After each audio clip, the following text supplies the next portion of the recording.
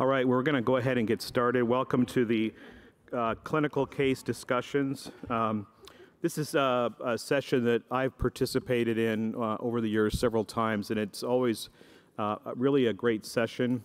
Um, obviously, during COVID, we had to do this online. It's great to to really have this session back up and running and to have uh, uh, really good participation uh, in terms of the audience. Um, before I introduce um, in, uh, you here today, I just want to make a couple comments about the format. Um, so we do have some questions that are coming in online, um, and obviously uh, uh, questions that, that, many, that many of you want to bring up. I'm going to ask that as you bring these questions to the mic that you be very succinct.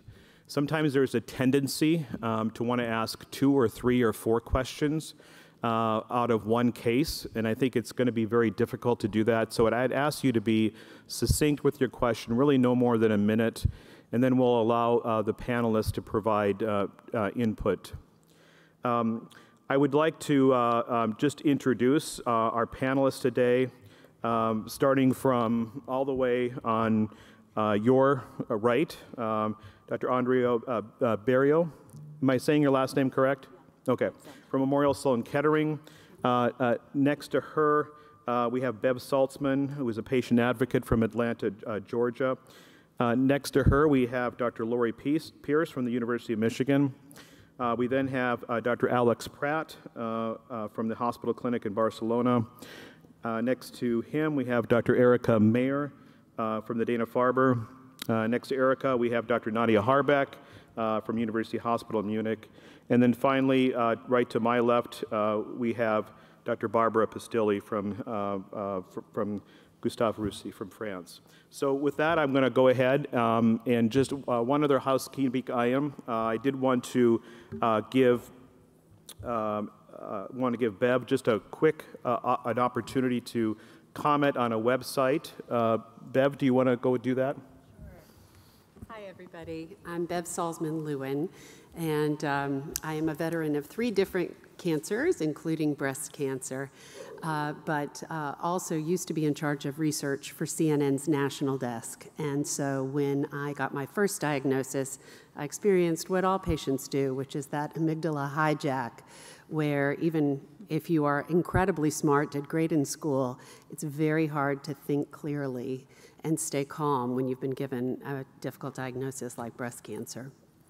So I naturally went back and used my professional research skills to create a simple system that I used in order to calm myself, learn what I needed to learn in order to make good decisions on doctors and on treatment. And uh, so, anyway, fast forward, I had a terrible scare uh, a couple years ago, which thank God turned out to be absolutely nothing. And so I decided I wanted to use the gratefulness that I felt. I had been helping different people, friends, and people in my own life through their difficult diagnoses. Um, but I decided to put my, my, strategy, the things that had helped me, up on a website, totally public service, in hopes that other patients might be able to um, derive some benefit and uh, make it easier to get through, especially that very difficult time for patients between receiving the diagnosis and making your decisions on doctors and treatment. So anyway, uh, I think they've got the the homepage up there, and um, feel free to share it with your patients and anybody who you think might benefit. It's not just for cancer, but obviously that's what I know. Okay, thank you very much. Well, uh, let's go ahead with the first question. Um, Dr. Karen Green, medical. I'm going to hold off just for a second before I can. Um, Dr. Hope Rugo just arrived, um, uh, and actually we're very pleased she's here. Dr. Hope Rugo from University of California, San Francisco. Please go ahead. Okay, medical oncologist, White Plains Hospital, New York. 48-year-old um, premenopausal woman presents earlier this year with a clinical T2, clinically node positive um, uh, poorly differentiated invasive ductal carcinoma. Um, ultrasound guided biopsy of the breast lesion shows uh, ER 21 to 30 percent weak, um, but biopsy of the lymph node was triple negative. Uh, she also had a contralateral DCIS on MRI guided biopsy. Um, PET scan was negative for distant disease, except for one solitary um, abdominal wall metastasis, about one to two centimeters. So, in multidisciplinary discussion in our tumor board, we conceived of her as triple negative. That, that a biopsy of the abdominal wall showed metastatic breast cancer that was triple negative. Since that was easily, uh, it was only about one to two centimeters, easily amenable to surgical resection, we made the decision to resect that and then treat her with the Keynote 522 regimen.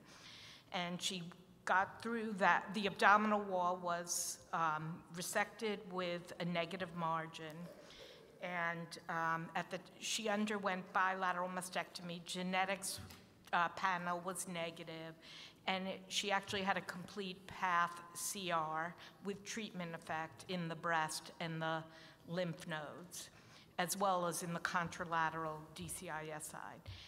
Um, initially, we were going to ask about whether to do consolidative RT, but Dr. Mamounas's uh, presentation to that in conjunction with the BR002 uh, since she initially had stage four disease, I think says no to radiation. So the questions are how long to continue the Pembro now, whether we just do the nine cycles like Keynote 522 or continue indefinitely since she was technically stage four, and whether to add on endocrine therapy since her core biopsy was weakly ER positive, though the rest of her uh, biopsy area, um, areas of involvement was triple negative. Okay, thank you very much. So I'm going to just summarize. So 48-year-old premenopausal woman, clinical T2, uh, uh, a biopsy-proven N1, is that correct? Correct. Uh, Weakly positive, 21 to 30 percent in, in the breast, the- and the biopsy disease in the lymph node was, was uh, negative for ER, triple negative, and then a solitary abdominal wall met. You, you treated uh, her with the Keynote 522 regimen, and then resected uh, the abdominal wall. A- And, uh, did you, did you resect the abdominal wall met first and then che- chemotherapy? We did. Okay. Um, so uh, I'm going to start, um, maybe Lori, with you. So the role of uh, surgery in the presence of stage four disease. Um, you're, you're, oh, sorry. Yes, I'm sorry. um, uh, thank you, um, uh, Andrea. So your thoughts about the role of surgery in stage four disease here? Obviously, this is somewhat of a different scenario in the sense that uh, this is, uh, you know, again, a solitary uh, met. Of course, we think of these patients as having, you know, circulating disease. We don't think of we think of breast cancer as a systemic disease, but in this case, there was something we could see. It was it was resected. Your thoughts on this? It's- This sounds a little bit different because it almost sounds like a drop met, like a, a skin met that just went. I've had one of those patients before, so it's a little bit different than maybe something in the bone or the liver or something else um, where we wouldn't operate. But in these instances of these kind of drop metastases that I've seen, um, I have done surgical resection um, in these cases. Um, but in your question about radiotherapy, and I'll let Lori answer this, I'm I'm not sure she's the kind of patient that we describe in B51 because I can't imagine if that drop met is in the radiation field that you would not want to consider that, especially if you've decided to treat her for cure. You either, I think, in my opinion, you would go all the way and do that or not. So it sounds like you've done that with the keynote regimen, with aggressive local surgery, and would move on to complete therapy. Can you just clarify again where this uh, uh, abdominal wall metastases was? It was, it was, I kind also conceived of it as a drop met. It was really just right below the rib cage or, you know, or at the border of the rib cage. Um, So to me, it kind of seemed like a regional, you know, local regional. Uh, But it's That's, not. you know, we kind of stretched a little bit, but that's how we kind of So, Dr. Pierce, maybe you could comment on the role of radiation theory. So, uh, uh, very interesting. I mean, even if it's kind of in the neighborhood, this is a Met. I mean, this is not local regional. This is a Met. Um, I realize this is a 48-year-old, probably excellent performance status, um, and now she has a path CR. Um, I, I- must say that this is actually a great case for multidisciplinary discussion because it's so, so complicated. So thank you for bringing this forward, and hopefully there was a multidisciplinary discussion at the, uh, the decisions were made or how to move forward. Um, This is someone that I don't think it's unreasonable to either resect it or to do radiation to that area. And as long as the patient understands that this is metastatic disease and the likelihood of us making a difference in her survival is pretty close to zero. But your, your reason for treating it would be more for local regional control. Um, but I, I can't say that it would make a difference in survival. Now that it's been resected, it is metastatic disease, and she had a path CR. Um, given, even though this is not typical for a B51, I would probably use that as a reason not to treat her. You would radiate the resected area. You said yes or no? I said, if, no. So I said, if You would she- now not If she had not had surgery, You would radiate. I would have en- encompassed that. But now that she has had surgery, she's passed CR, I would not provide any radiation. To breast, node, or met. That's correct. Okay, thank you. So I think the follow, follow-up question that you had then, so this patient has been resender- rendered disease-free. Um, All disease has either been viewed as uh, uh, removed, but with chemotherapy or surgery. So now your last question is related to duration of the pembrolizumab as well as endocrine therapy. So Hope, comments on duration of pembrolizumab? I was just curious, did you check PD-L1 in the tumor? We, I, I have to, I don't, I don't think we did. I don't think we did. Okay, I don't was just curious. Yeah, yeah. Uh, Just uh, interested, uh, particularly because of the biomarker data with the ER-positive high-risk trials and the low ER having higher PD-L1 and that predicting more PCR. It doesn't impact my recommendation, however, I was just interested. Yeah, I don't think we And, you know, I think that in this situation, we would continue the Pembro as if a patient had metastatic disease, was treated on Keynote 355, and you dropped the chemo and continued Pembro. The study itself continued Pembro for two years, but I have to say, as an oncologist, I was always hesitant to stop at two years, and then I would just transition the patients over to compassionate use Pembro. Uh, but you know, now in the clinical practice, you can continue on. Obviously, we stop for immune toxicities that uh, mandate stopping drug, and there is ongoing risk of toxicity over time. I think, uh, you know, the, the duration of time, we don't even know how long to give trastuzumab for. So we really don't know the optimal duration of time. But in a couple of patients I have in that metastatic setting like this, I decided five years was the optimal duration. But, you know, that's like picking it out of the sky. Okay. And then, uh, Dr. Harbeck, what, what would you do with regard to endocrine therapy here? Do you think that plays a, we, endocrine therapy plays a role? I think that that is an important question because we're not just talking about endocrine therapy. I mean, if you think this to the end is heterogeneous tumor biology, you can also talk about CDK4/6 inhibitor therapy, which would, of course, then impact the decision to give uh, pembrolizumab because you just couldn't give it together. So, I think in in the early breast cancer setting, when we have cases like between one and nine ER, we call it functionally triple negative, and then we don't go back and revisit this decision because um, we, we- it's a lower ER status. There is more likely to be basal-like biology behind it. But 20 to 30 percent, usually I do recommend endocrine therapy. But I would, I mean, tell the patient if she really suffers from it and has trouble, that it's probably the benefit is not going to be as great as if the ER was was higher. But it's heterogeneous biology. I mean, 20 percent is certainly positive. You cannot negate that and say, well, the rest is all triple negative. So I, I would talk to the patient, offer it to her with the CDK4/6. I, I, that's a decision. I probably would go more in the direction of the immunotherapy in this particular patient.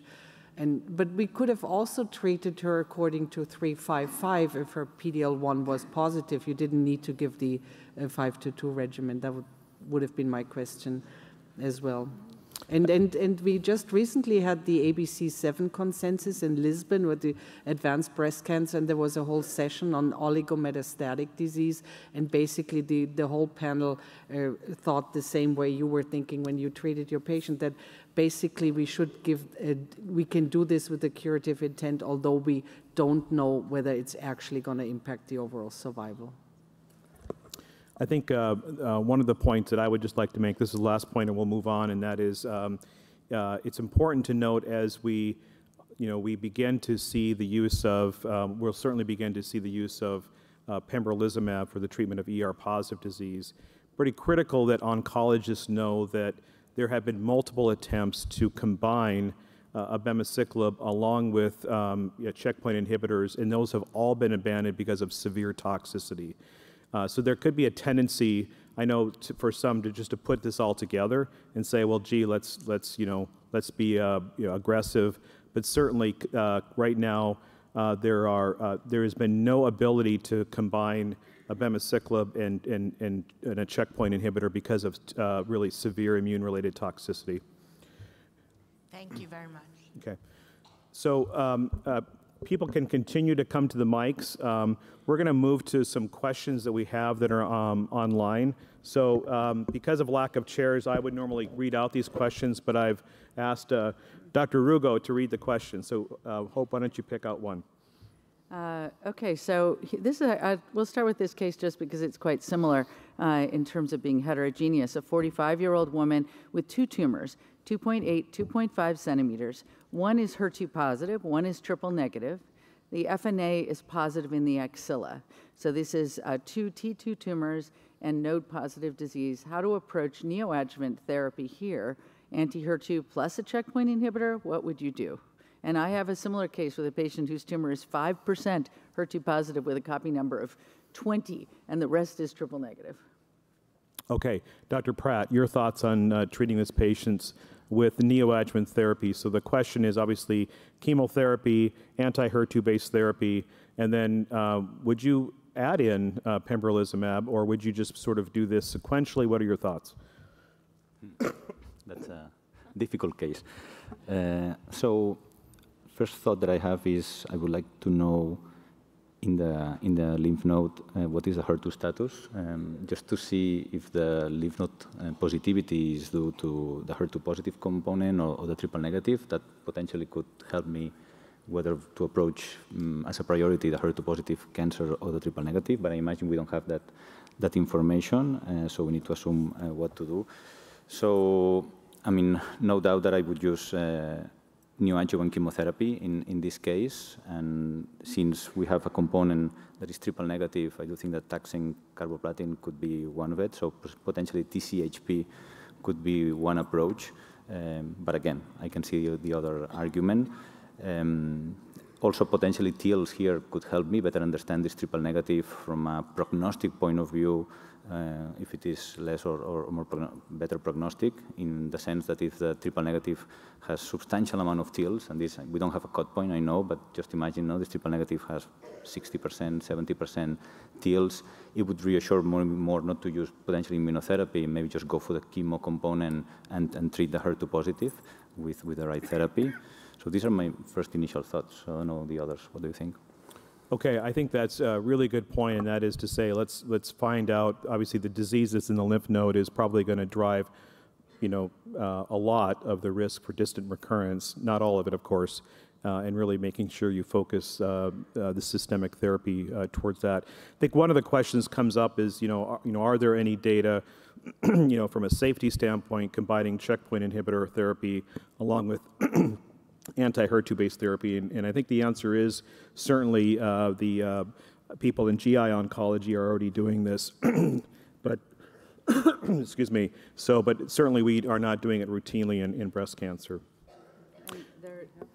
In the um, in the metastatic setting, the NRG trial closed in the first line metastatic setting because of hepatic toxicity, but is very unclear.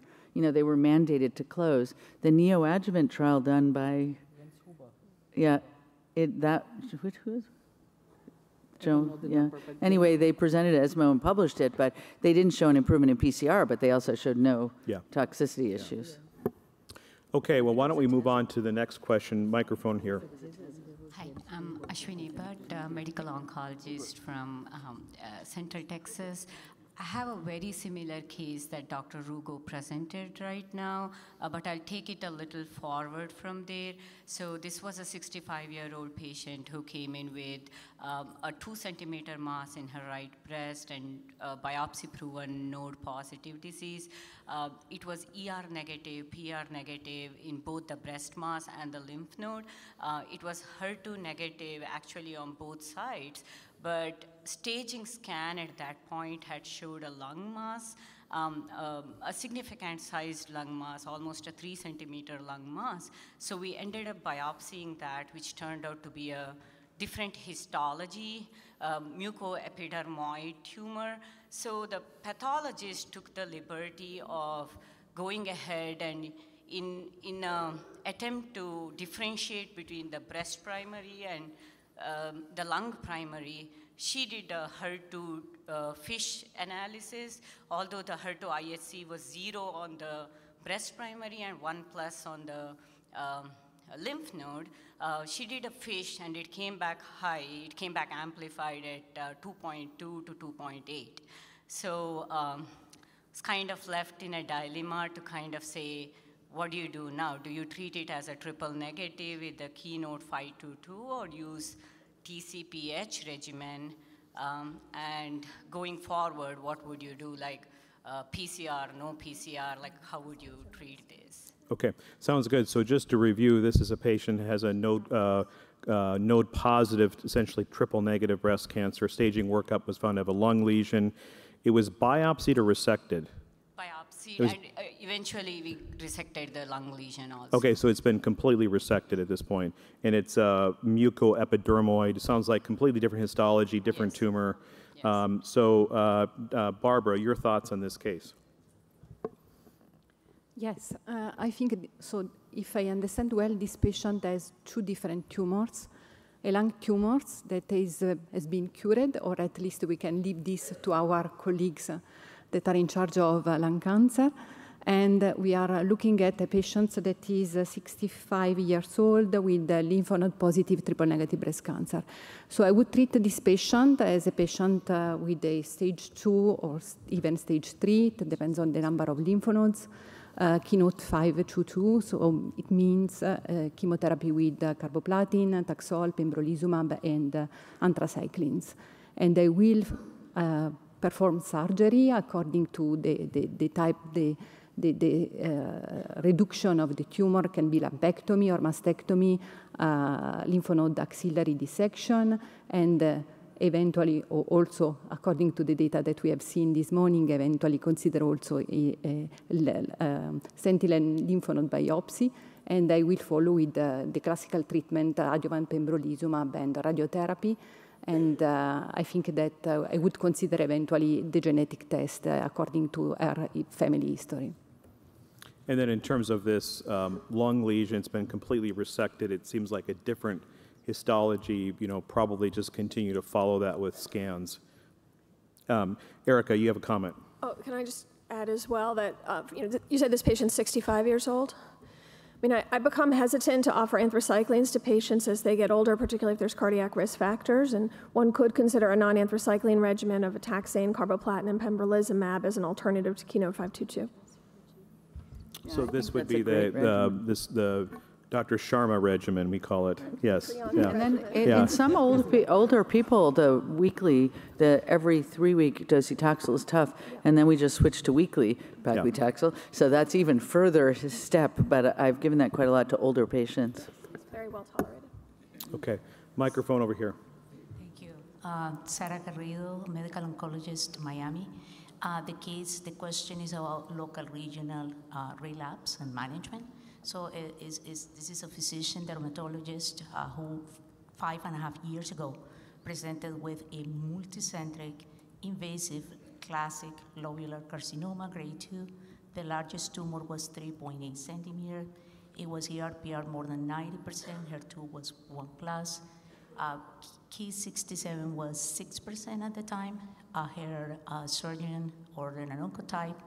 The largest tumor was an oncotype of 17. The second tumor was 15. The third tumor was very small and was not oncotyped. She had um, bilateral mastectomy, ipsilateral sentinel lymph node, and lymph node dissection. Ended up having three out of 12 positive lymph nodes. Uh, one was a macro, 2.2. The other two were micro metastatic. Um, and she went for multiple opinions, ended up having TC times four, no radiation recommended by multiple groups, and then had been on ovarian suppression AI and uh, with no evidence of recurrent disease until recently when she palpated in the inner upper quadrant, very close to the largest tumor, a superficial nodule that ended up being recurrent disease, invasive classic lobular carcinoma, one centimeter, excised uh, negative margins involving the muscle, the chest wall, but resected with negative margins. An ear PET induced by her because her family member is a radiologist was negative. And the question is chemo versus no chemo and the extension of radiation. She has had multiple um, recommendations by MD Anderson, Dana Farber, all contradictory. And so chemo versus no chemo. And by the way, her tumor now is PR negative, ER more than 90%, Ki67 is 40%. Thank you. Okay, so I'm going to just clarify a couple things again for the panel here. So, uh, when she was originally diagnosed after the bilateral mastectomy, did you say she did or did not get adjuvant radiation therapy? She didn't. She did not. No, did not. Okay, and then with this uh, recurrence the, that she had, which is four years later, is that correct? Five and a half years. Five and a half years. Thank you. And um, this recurrence is ER negative, ER more than 90% positive. ER more than 90 percent, ER negative. PR negative, HER2. Ki67, wa- HER2 is, is zero. Okay. And Ki67 was 6% at presentation. This is 40% now. Okay, so so at this time, this local recurrence has been completely resected. Correct. All right. So um, now I'll turn over here to um, uh, Dr. Pierce. The case? Yeah, so um, the, I'm going to summarize the case again. Um, so this is uh, a woman who is 48 years old at the initial diagnosis, diagnosed with a multicentric uh, lobular breast cancer. The largest lesion was 3.8 centimeters. Uh, ERPR is strongly positive, HER2 negative, Ki67 low, uh, oncotype 17, and then 15 in another lesion. Um, after bilateral mastectomy, she was found to have a total of, I think I heard three, lymph nodes uh, out of 12 that were positive. She received adjuvant TC times four. She did not receive adjuvant radiation therapy. She was put on ovarian function suppression, and she remains on ovarian su- function suppression at this time, yes or no? Yes, she's, she's on anastrozole now. She's Okay. postmenopausal. Okay, thank, and she, re- so she's had an anastrozole throughout this whole period of time as well. Okay, so let's start with first, really the, I think the first question relates to the role of radiation therapy here. Dr. Pierce. The So- extension of uh, radiation, extension, because everyone has recommended radiation, but there has been differences. Some people recommend local radiation, other people have recommended comprehensive uh, nodal radiation. Okay. So she has a chest wall recurrence. Um, doesn't happen often, but we still do see it. And certainly the most common site of a subsequent recurrence is in the chest wall. And the, she had an ALND initially, um, and then the second most common site is in the supraclav area. So I would irradiate um, the chest wall and the supraclav. I wouldn't irradiate the nodal, the full axillary area, and I would boost the scar. Um, so I would treat local regionally, but not comprehensively to the regional nodes. And just maybe one follow-up question. So the, uh, um, at the time of this local recurrence, was a PET scan performed? Yes, an ER PET. An ER PET was performed? Negative. Okay, thank you. So I think now the, the question is, we have a patient who's developed um, local um, uh, uh, progression or local recurrence uh, while on, one might say, optimal uh, endocrine therapy. Um, and so, um, Dr. Mayer, your thoughts about utilizing systemic therapy um, in terms of chemotherapy uh, and also in terms of your choice for future endocrine therapy? So can I just clarify, is the chest wall lesion still in place or was it resected? Resect, resected with negative margins. Okay. Um, I mean, so patients with chest wall recurrence, despite optimal systemic therapy, are at quite, quite high risk of distant recurrence. It's a great thing that her um, PET scan was negative. Sometimes in these situations, when the lesion is in place, we might offer uh, a more novel endocrine regimen, such as fulvestrant and a CDK4/6 inhibitor, sort of in a preoperative fashion to gauge uh, any residual endocrine sensitivity. Um, and then after resection, looking at factors, for example, Ki67, decide if we're going to offer chemotherapy or not. In this situation, as it's already resected, it's hard to do that sort of in vivo experiment. And given her younger age and, and high risk, I might be leaning towards offering her a comprehensive chemo regimen such as dose-dense AC plus T. But would you, um, sorry, can I ask her a question? Go ahead. Uh, Would you, however, let's say you've done that, or she says no way, and you're going to do your radiation, then what are you going to give her? I would still give her fulvestrant, a CDK4/6 inhibitor. Yes, and in terms of endocrine option, she recurred on aromatase inhibitor, so we have to move on to something else, and fulvestrant CDK would tend to be my choice. So- Would you give chemo? So a, a couple questions that come up. Obviously, this is an area of active uh, controversy, as Hope said. There are no data with regard to the role of uh, CDK4/6 inhibitors. Also, as many of you know, we don't have data with regard to.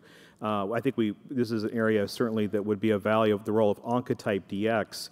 Uh, because we know from the CALOR study there was no benefit of chemotherapy, but clearly there's heterogeneity. We know that there will be uh, some tumors that are likely uh, uh, more or less endocrine sensitive, maybe more or less chemotherapy sensitive. So in the absence of the data, and this is where we have one of the I would call data-free zone.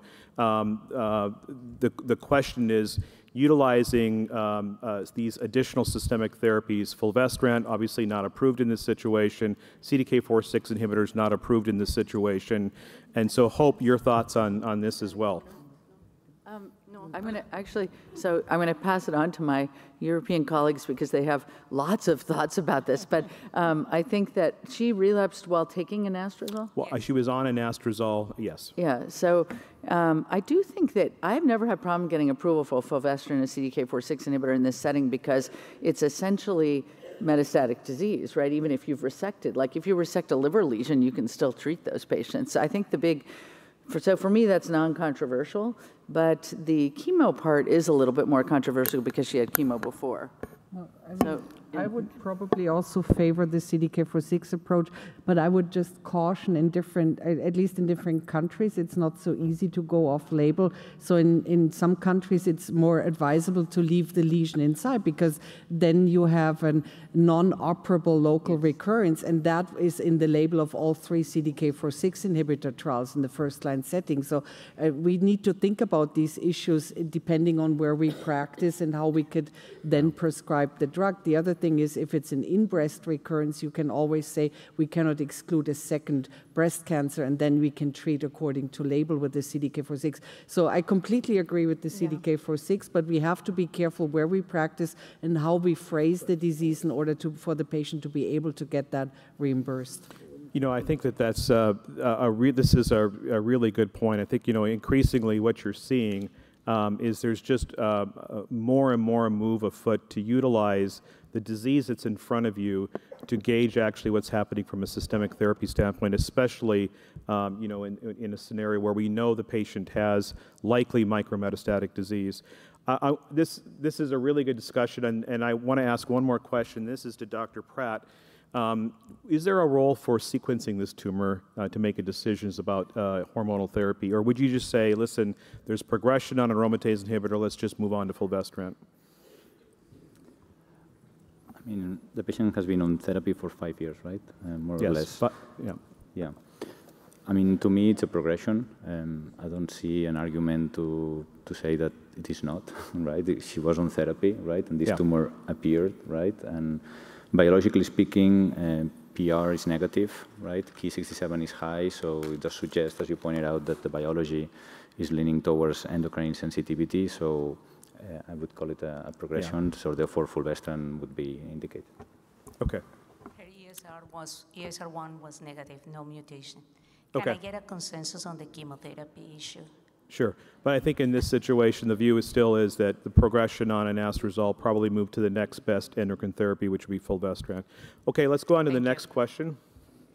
So this this young lady, she's 58 years old, and she presented in March, and she had a mammographically detected non-palpable mass that measured about 1.1 centimeters, and it was biopsied. And it was uh, invasive ductal carcinoma with lobular features. Ultrasound and exam of the axilla were negative. She had a biopsy at the end of February, and it showed a triple positive cancer, ER 90%, PR 50%, HER2 3 plus by IHC. And because of the vagaries of the case, we also asked the lab to check FISH, and it was indeed amplified. And uh, we have egg on our face because she had lobular features. We did not do an MRI. We just assumed it was small.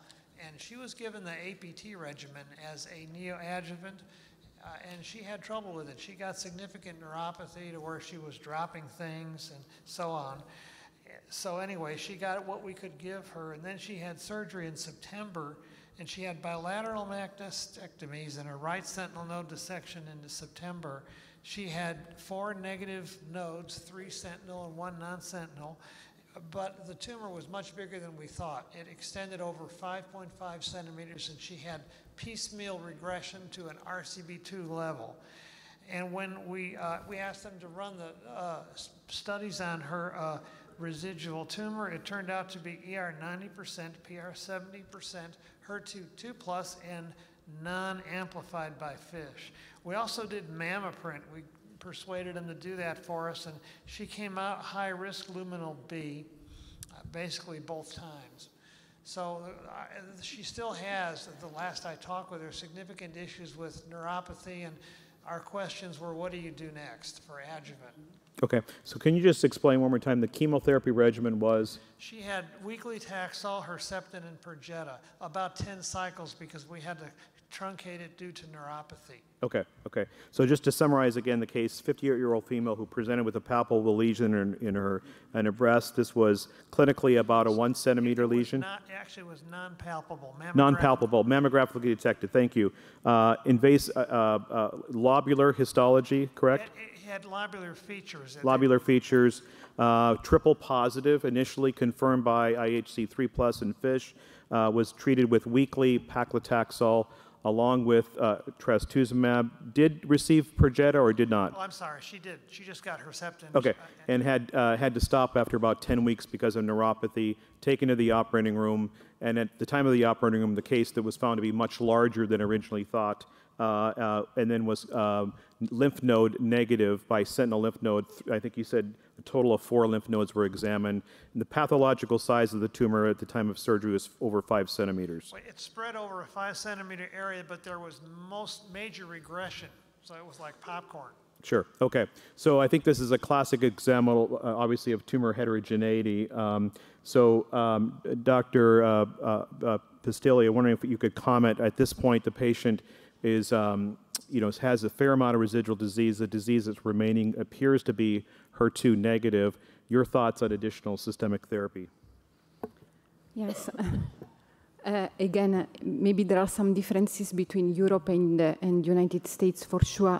This patient has not received anthracycline, so I would uh, I would give a, a, a treatment with anthracyclines, epirubicin or uh, Adriamycin in combination with cyclophosphamide. Actually, we did. I, I, for, I, totally forgot to tell you that we did give her AC. Oh, okay. Okay.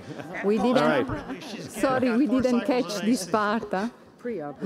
All right. So, so uh, she, you, can I just clarify? She received AC and then and then paclitaxel. No, no. She got Taxol, Herceptin, when we did the surgery, we found out that we didn't do so good, and she got four cycles of AC post-operatively. Okay, thank you. So uh, that helps. That's helpful. So, um, Barbara, additional comments. Okay. So she has already received anthracyclines after surgery. Is this correct? Yes, yes post-operatively. Okay. Uh, post-op. And now the question is, what what else? What we can do? Right. Uh, so in the residual disease, at the time of surgery, she's ER positive or ER negative. I don't, I didn't she's catch this ER part. Positive, ER positive. positive. So what I would do for this patient is uh, the best endocrine therapy as first. Uh, for sure, I, I leave to the colleagues or radiotherapists and so on to, to discuss the, radio, the, the, the radiotherapy treatment, radiotherapy. I would provide in terms of systemic therapy the best uh, endocrine therapy. She's 50 years old. I would consider uh, for sure arom uh, aromatase inhibitors in combination eventually with ovarian fun- function suppression if she's not um, a, a postmenopausal patient, and I would provide, if it is approved in your country, a CDK4/6 inhibitor such as abemaciclib. Okay. So another question I have here is, um, obviously, that, that there's going to be some question of whether we can get the CDK4/6 inhibitor approved. Um, uh, did she have um, initially when she presented? Was there any lymph node involvement? Uh, no, there wasn't. Okay. So that could be a potential issue of getting that approved. Um, I did have a question for uh, Dr. Prat. In this case, would uh, you know, the tumor was HER2 positive, what's remain is not. Would you continue on with the year of trastuzumab in this situation as well? I mean, here, one question back to you would be, if I understand correctly, at diagnosis it was HER2 3 plus, but It uh, was HER2 3 plus, and because of the surgical pathology, we asked the lab to go back and do FISH, and they did, and it was amplified. okay, the so it was confirmed Okay, afterwards. so okay. uh, I lost also this part, sorry. Okay, okay. So yeah, I mean, the, the data, we don't have data saying that if the tumor becomes HER2 negative after neoadjuvant therapy, no, you don't benefit from TDM1, for example, right? Actually, the data, despite the small numbers uh, of, of samples in KATHERINE, it does suggest that there is, there is a benefit. Um, however, the jury, the jury is, is out. Um, so in this case, if it's a HER2 amplified tumor, I think we need to consider it HER2 positive, and therefore I do think that TDM1 would be indicated in, in this case. There is a toxicity no, that the patient had that also is of concern regarding uh, the use of TDM1, but um, yeah, could be indicated. So I was hoping that she would get better, that her neuropathy would improve during the window of AC, and maybe we could go back to TDM1. My question to the panel is, would you use endocrine therapy concurrently with TDM1, or would you do it sequentially? I think we would all yeah. do it concurrently. Yeah, sure. Dr. We Harbeck, you have a uh, comment here as well. Yeah, I was just going to make the same comment about TDM1 and this subgroup analysis from, from KATHERINE. I mean, it, we also have data in, in high-risk HR positive, HER2 positive, that one additional year of neratinib could be of benefit. But since the tumor um, in the non-PCR was so much larger and HER2 negative, I would also uh, weigh on the side of the CDK4/6. Abema is not approved in this setting because she's never had node positive disease, although the tumor is very large now. But but probably once NATALEE is approved, that would fit then these criteria. So we can wait a little with that. Although those trials excluded HER2 positive disease, I agree with you. I mean, I think that most of us would consider that if she couldn't tolerate TDM1, you can use endocrine therapy, CDK4/6 inhibitor potentially. Yeah, I mean, you can't exclude that these are, like Matt said, Mixed, heterogeneous Heterogeneous. biology. So I think that we have a good argument because the second tumor is so much larger that this is actually two Yes. biologies, so we need to treat both of them. So I think one of the take-home points here is just that, you know, in a tumor that was originally HER2 positive, at the time of surgery is HER2 negative, that does not preclude then the use of TDM1. That was an analysis from KATHERINE. Obviously, you'll have to deal with the issue of neuropathy in, in, in, uh, in terms of managing that from a patient perspective, and then potentially to consider a CDK4/6 inhibitor along with endocrine therapy, and of course, use of uh, a bisphosphonate as well. Let's move on uh, to the next Uh, can I- microphone. Can I just ask, oh, actually, one more follow-up. In terms of local regional therapy, um, you said that she was clinically node negative initially. That was clinical, wasn't biopsy, correct? But then at time of surgery, her nodes were negative. Yes, she had a negative ultrasound, no palpable disease in her axilla, and at time of surgery, she had a sentinel node procedure, which yielded three negative sentinel nodes and one negative non-sentinel node. And there was no treatment effect in those nodes. This I don't, well, I I don't know. No, I guess not. Okay. So, so let's just assume that her axilla was fine, but she still had greater than five centimeters, kind of a, a, a Swiss cheese kind of, uh, and I would advocate for radiation to the chest wall only because of her T3 disease. I certainly would do it in the, in, in the non-neoadjuvant setting. I'm even more compelled to do it in the neoadjuvant setting. Well, Would you, would you, Dr. Pierce, would you do that like right away?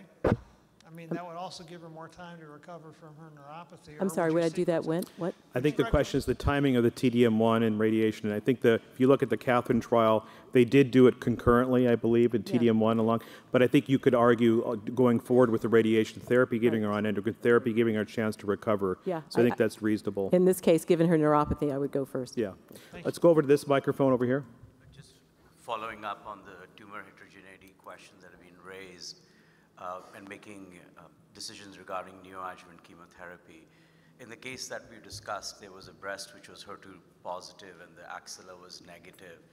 Does the panel feel there's any role for a test like Blueprint to understand biology is this really HER2 positive or not, and then make decisions regarding chemotherapy regimens. Okay, I'm sorry, not correct. A test like what was? What did you say? Blueprint Agendia's uh, Okay. understanding luminal versus HER2 versus basal. Would you use that as an adjunct to making these decisions? Yeah, I, I, I would say that it, it can provide additional information, but I think what we would say in this situation is we would go by the KATHERINE data, which actually looked at this specific question, which says there's still value of getting, in this case, TDM1, uh, uh, regardless of whether HER2 is lost at the time of surgery. I meant more in the neoadjuvant setting. Okay. Dr. Goetz. Um, so a question here, we'll we'll address this quickly. Util- Utilizing a different additional test to make treatment decisions, in this case, the blueprint test. I hope your thoughts on that. Using, uh, because the comment was that it was luminal B? Correct. Yeah, I am, you know, I think that we think of HER2 positive, HER2 enriched as having really fabulous responses. They have a higher PCR rate than luminal B. But uh, luminal B disease, we, when it's shown to be HER2 positive, we treat the same way. So it's not going to really alter your treatment decision. And even a HER2 enriched tumor, if it happens to be ER positive, you're still going to give adjuvant endocrine therapy. So I don't really see that as altering our therapy. Now, in this particular patient, you know, where her, some of the, there is clearly tumor heterogeneity, the heterogeneity is really driving our decision rather than the blueprint results. Yeah, yeah. Okay, microphone. Hello, um, I'm a medical oncologist from Edinburgh. Um, this is a case that's really divided our MDT, and it's a 60, sorry, 57-year-old lady. She's very fit, and she actually presents via the ENT surgeons with a, a big neck mass in the SCF, and she's found to have um, GATA3 positive, strongly ER positive, HER2 positive disease, and she has staging, and she has a, a lesion in the right breast. It's about three and a half centimeters with one or two abnormal nodes on CT. And she has a few little lymph nodes up in level five in the uh, cervical region. Um, so we felt she was definitely M1 and she had the Cleopatra triplet. And she did very well and had a complete radiological response. Um, this was a neck mass that you could see. Um, you know, if, if you were the patient there, you could see this mass. It was big. Um, so we'd said to her this was not likely to be curable disease, but clearly could do extremely well. And the question really is um, do we do surgery and radiotherapy? Um, the radiation oncologist feels she can get the field up um, to take into account all of the disease, but she can't also treat the breast. Now, the patient herself doesn't really want a mastectomy, but someone has said to her, We could treat this radically, and she really wants us to guide her. But she can't obviously have a huge radiotherapy field to include um, the breast as well. So, if she wants to go down this route, she would have to have a mastectomy, clearance, and then the radiotherapy. Um, and none of us really know how best to guide her. I personally think she's had a great response, and we've got lots of um, other disease, uh, other treatments in the background.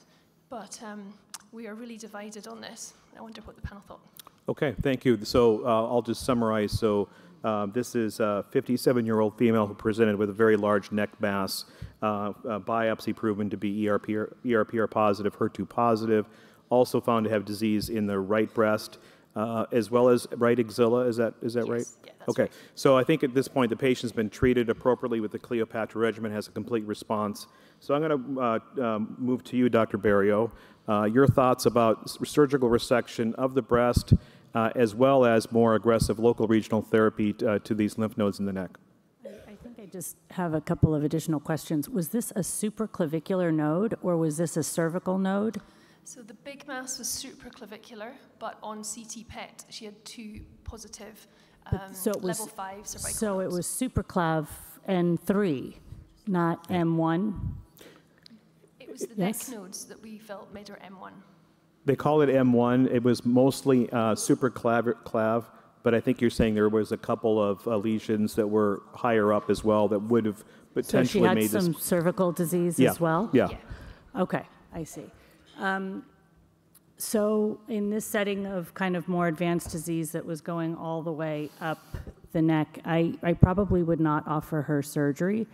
Um, and I, I certainly wouldn't do it in a rush. I mean, I think you have plenty of time to let her declare herself and see if she's going to relapse. Um, and uh, if she ends up doing really well over time, I think you can consider surgery at that time. But right now, I don't think you're going to give her a survival advantage by operating on her um, at this point, and I would just continue the systemic therapy that she's on, the HER2 therapy. Dr. Rugo, you have a comment.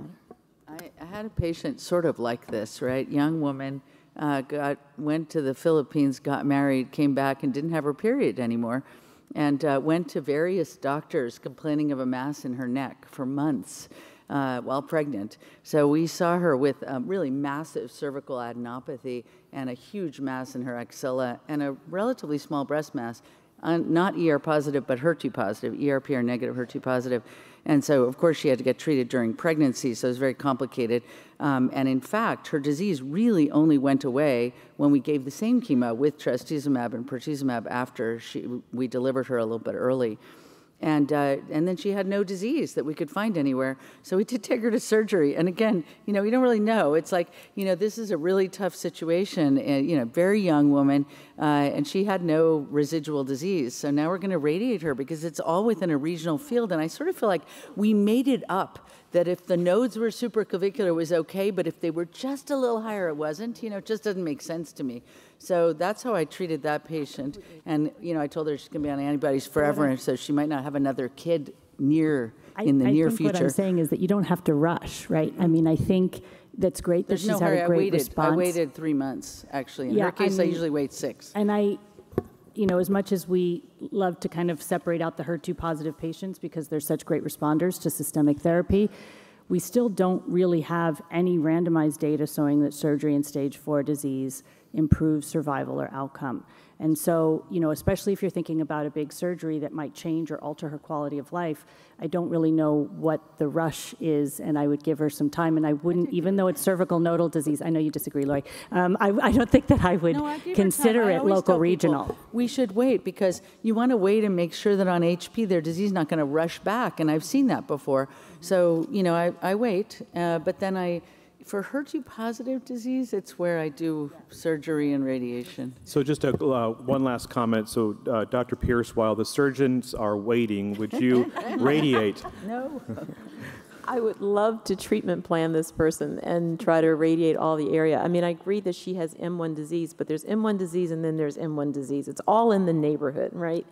And um, and given the fact that her supraclav was was positive, it's not shocking that the next echelon of nodes were involved. So I would love to treatment plan this, and I, I'm not quite clear why the radiation oncologist who, who knows the case felt that they couldn't do the breast too. I mean, I, there's way to match fields and you could do the regional area as well as the breast area. And she's had a complete response. Um, I would advocate, and she, her, presumably her performance status is very good and you want to be aggressive. I would be very interested in trying to treatment plan and, and treat her. So would you do that in the absence of surgery, though? If the surgeon wants to wait, and um, she's been, she has a complete response, not only clinically, but radiographically. So clinically, she's a complete responder. I would actually move forward. But then you're going to be complicated with the surgery, so you would just do radiation. I would just, I would just do radiation. And no. Correct. As long as, you know, you've imaged her and you are clear that there's no gross residual disease. I think we're dealing with microscopic, local, regional, and M1, and I think that that would be totally incom- you could treat that with radiation. Okay, uh, we have about seven minutes remaining, and I have we have we're going to go with one last uh, uh, case. Thank you. Um, I have a 54-year-old female, ER positive, stage two, diagnosed initially 2010, finished her surgery, uh, dose dense ACT, RT, seven years of ET. Um, in 2021, she became metastatic um, in the bone. Biopsy was GATA3 positive, ER positive, HER2 negative. Started first line Abema exemestane. It's been on it stable until October of 2023. She had worsening dyspnea of exertion, chest pain, staging showed pleural effusion. um, six centimeter posterior mediastinal mass, and uh, retroperitoneal uh, lymphadenopathy. Um, the lymph nodes were biopsied, the retroperitoneal, and were GATA3 positive, triple negative, Ki67 at 60%, compatible with breast primary. The posterior mediastinal mass was GATA3 negative, uh, Ki67 95%, and read as small cell cancer, um, and was stained, and it's triple negative, ERPR HER2 negative. Um, so the question is, how can we figure if these are two primaries or a neuroendocrine transformation in the breast? Would a molecular classifier help, or send in an NGS uh, uh, on, on either tumor? And also, how would you approach this case from a treatment standpoint? Would you use a, small cell regimen like a platinum and etoposide, or, or, or just Taxol, and we hope for the best? Sure. It sounds like the patient probably needs chemotherapy sooner rather than later. Um, uh, and this disease is uh, ER negative. Um, so I think, I think most people would feel very comfortable with treating her you know, with a platinum type regimen. I guess the question that comes up here is, uh, would, um, would you pursue, uh, essentially you have two different uh, histologies and you're asking, should we go after, you know, NGS on these two different histologies or two different uh, areas to, to, you know, to help us with our uh, treatment decision making. So Dr. Rugo, your thoughts on this case? Can you just summarize? Yep, I'll just summarize it again. So what, what I heard was this was uh, a 54-year-old female with a prior history of ER positive stage 2 breast cancer, uh, previously treated with adjuvant uh, AC Taxol, uh, seven years of endocrine therapy. I'm assuming most of that was an AI. And then in 2021, she presented with bone disease that was ER positive, received, received abemaciclib, um, I'm assuming fulvestrant maybe, was that what she got? Uh, and then had uh, essentially two years on that, and now she has what's essentially um, um, you know, various areas. She's got a pleural fusion, she's got a large mass, and you've biopsied a couple different areas, and they look like there's tumor heterogeneity. One is a, a classic uh, sort of a uh, IDC that is um, triple negative. The other appears to be more small cell, is what I hear.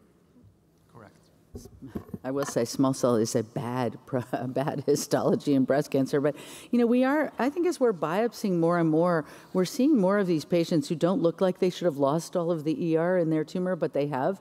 You know, we biopsy the liver most commonly, and it's triple negative. So I think that you are somewhat obliged to treat the patient uh, for the histology you identify. And in that situation, actually, patients are eligible for first line chemotherapy studies for triple negative breast cancer as well. So that would be one consideration in that setting where we're looking at ADCs versus standard chemotherapy. Uh, but, you know, I would check PD-L1 and see what's going on with that patient and treat them as triple negative.